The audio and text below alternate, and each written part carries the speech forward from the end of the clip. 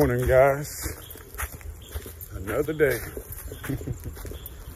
so if we haven't told you guys yet, we are we we are in Kenya, but um we took a little trip to Kilifi. I hope I'm saying it right, which is right next to Mombasa. And we've been staying at a Airbnb right off of the beach. Yeah, it's the Indian Ocean. It's pretty cool. It's a very beautiful beach, white sand beach. And it's very quiet here. It's very nice. Let's go see what these guys down here is doing.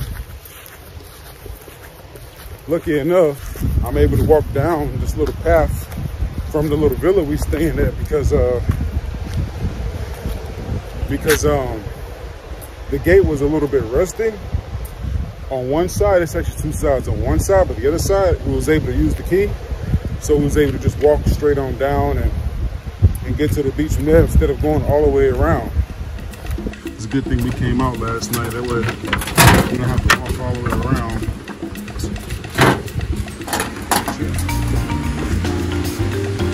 Beach being so beautiful like this I expected to just be loaded with people.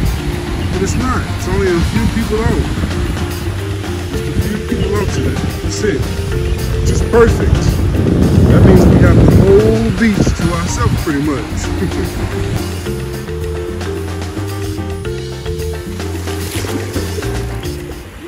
She needs to know how to swim. This girl needs to know how to swim because she walks into the water by herself. so independent. And anything you want to say to the people? Nothing? Sasa, okay that's fine. She's just gonna enjoy this beautiful water out here trying to run in the water by herself you gotta watch her like a hawk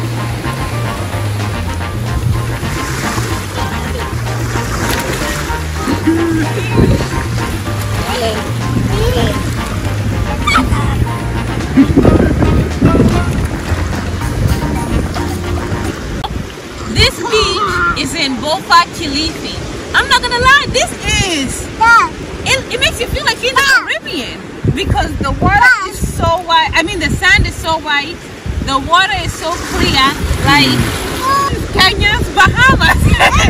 you know, this is it's a very beautiful beach. Though barely anybody here, 'cause I you know, know. with people with the tourism hasn't been coming, so it feels like you're in a I don't know why a they private missing beach. out I know. It feels like it's a private beach that you're enjoying all by yourself. but on that case, I just gotta watch Mombi because she over here like has no fear of the water, just running straight into it. So she don't want to play with no sand. In that case, yeah, we just gonna enjoy ourselves right now.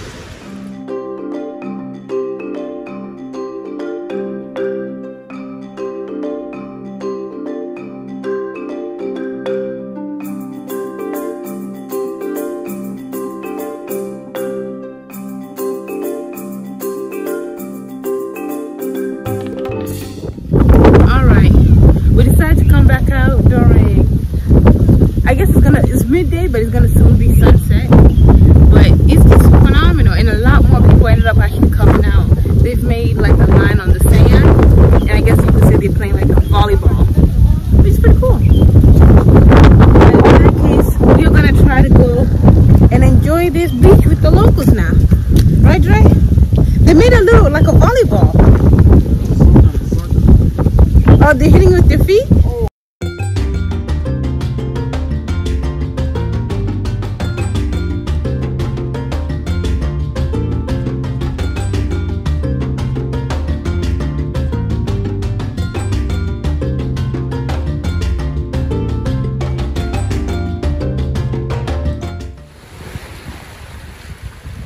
We ended up coming back out.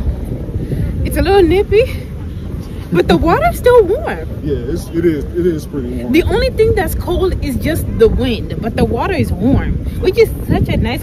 It's such a contradiction to most beaches, you know. yeah But So we was out here earlier, as you already know, because I was talking to you guys earlier.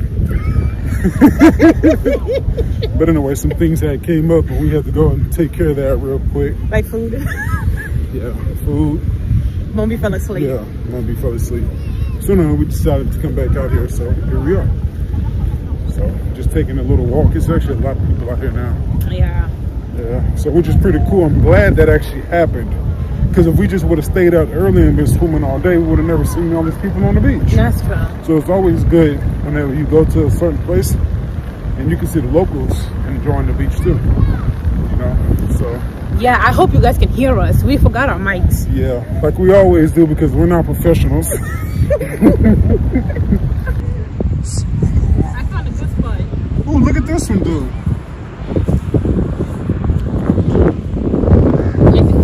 Yo, I remember growing up as a kid when I used to go to the beach all the time. If I seen a good one, I'd take it home. And I remember one time I had like, I went to the beach and I had like five of these things. And my mom was like, why are you taking all these seashells home? But,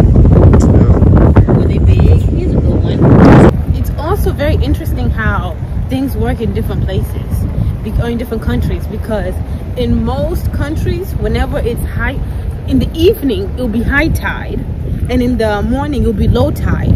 But here in the morning it's high tide, in the afternoon is low tide, right? It seems like that. Because right here the water was hitting the rocks, Yeah. and the water's all the way down there. Yeah. Oh Whenever yeah. we was in the ocean and stuff, like you got to kind of be careful because some areas is really, really rocky. Mm-hmm. Okay. Because the water's not here.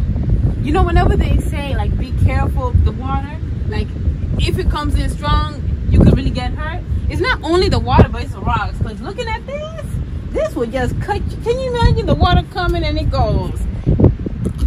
You know, it's just horrible. Or just getting thrown down here.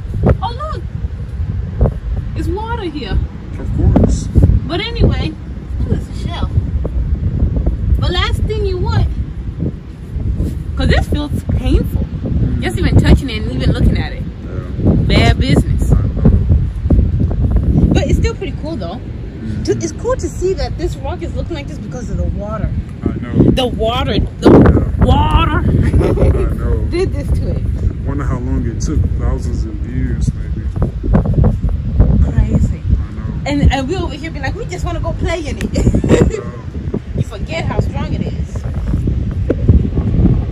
It's it's really nice and relaxing, and there's always just a different vibe coming to the ocean. And then, like I said, in Senegal, it's just amazing when you're in a complete. What would you say? I don't know. I never knew Africa had beaches like this. You know what I mm-hmm. mean? I know there are beaches here, but you know, I didn't know that there were like beaches like this. This is a very beautiful beach, mm-hmm. and most of the time, people think of beautiful beaches, they don't think about coming to Africa for a beach. Yeah. You know what I mean? At least I've never heard of anybody say, "Oh, I'm gonna go to Africa for a beach." You know what I mean? Yeah. It was always, you know, The Caribbean. yeah, something like that, but. Or in Asia. Or in Asia, but the Indian Ocean here with Africa. It's the one that's in Asia. It's Yeah.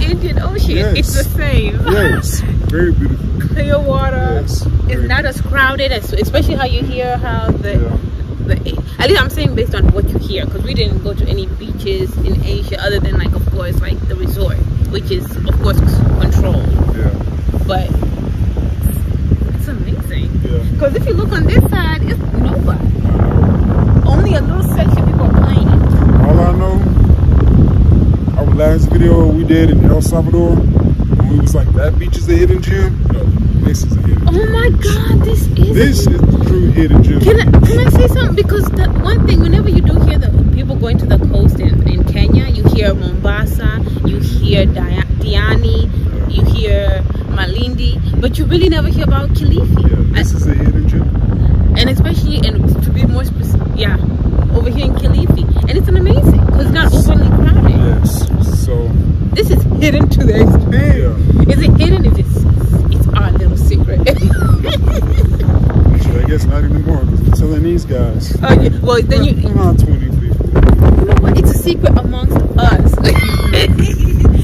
We don't really know where we're going next after. Oh my god, we gotta figure it out. We got like two weeks to figure out where we're going next, and we have not even started. We have zero. Why, why do we do this to ourselves? Well, that's just the way we always do it. But a lot of times, though, we like to do it that way too. Is because, um, you know, like, like no, because like I was saying before, instead of having all these places in your head you want to go, when it's last minute to look, because you know a lot of times we're budget travelers, if you cannot tell. You know, we don't really. It looks. Some people think, well, it's it's it's, it's glam, but we don't. We're not luxury travelers. We're budget travelers. We Travelers. walk on our feet to go everywhere. We use public transportation when we go. We don't be doing all that old fancy stuff.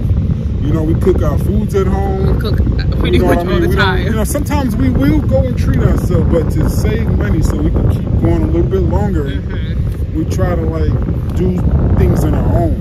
Yeah. You know, if we can walk somewhere and explore, we'll do that. Or if we can just get in a little tuk-tuk and just get in one of them and go where we want to go, we'll do that. And one- know, Yeah, and one thing that I've noticed that really did help us a lot save is in the very beginning we were move, move, move, move, but when we actually decide to stay at a place for some time, yeah. that really does Yeah. help you kind of save, regroup, strategize. Because whenever you do the go, go, go, you don't ever have the chance to really just embrace, you know, the culture that you're surrounded. So, Because just to say, this man has turned Kenyan because he's like, I need ugali once a day. Ugali is cornmeal with water mixed together. He needs it once a day because that thing fills you up. yeah. some people like, where y'all going next? You don't know. You find out because we post on our Instagram where we're gonna go, usually around that time. It, that's pretty much up to date about what's going on, and that's how you'll find out where we're going because we posted it right there. But hopefully we'll do better and not book it the night before, and no stress, no more stress.